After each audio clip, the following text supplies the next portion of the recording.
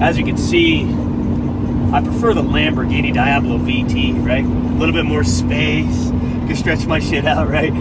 I, I like here, I'm, I'm cut, like, look at me, right? But I'll tell you right now, look at this guy right here. Look at him. a Ferrari? See ya. You know what I mean? Listen, we don't mess around.